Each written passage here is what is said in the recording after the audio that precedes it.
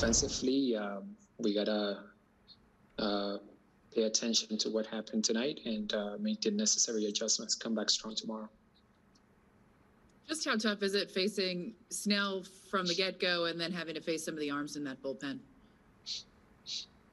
Y esa batalla de hoy, ¿verdad? Enfrentarte contra Snell, un pitcher de muy buena calidad, y el bullpen de ellos, que también tiene buena calidad. Eh, es una batalla cada vez que ustedes se enfrentan a ellos.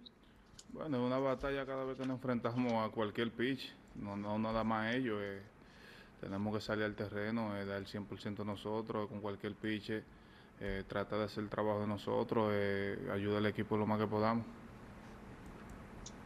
You know, it's always a battle against them. Uh, it's always a battle against any pitcher. Um, like I said, you know, we got to turn the page, come back tomorrow, uh, give everything we have, you know, and uh, uh, just try to be better, you know. Small sample size, but you have five home runs against Snell. Why do you think you've had success with the long ball against him?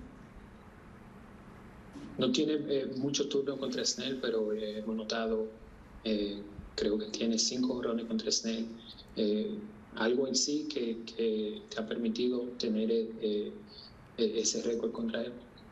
Bueno, no, eh, él es un tremendo pitcher, eh, solamente trato de buscar un picheo en la zona mía donde yo pueda hacer un buen swing y, nada, de tener buenos resultados. You know, Snell's a really good pitcher. Um, for me, uh, I try to keep it simple, look for a pitch in the zone, and you know, uh, swing at those pitches, and I've been lucky enough to get good results against them.